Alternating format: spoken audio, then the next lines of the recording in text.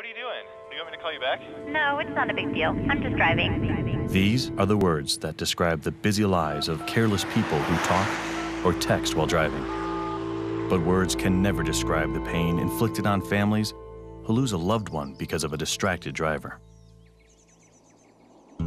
At Cohen and Dwin, we help those families in need by making distracted drivers pay for their carelessness.